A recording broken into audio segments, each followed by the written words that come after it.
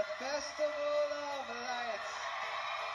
One day of presents, hell no, we get eight crazy nights. but if you still feel like the only kid in town,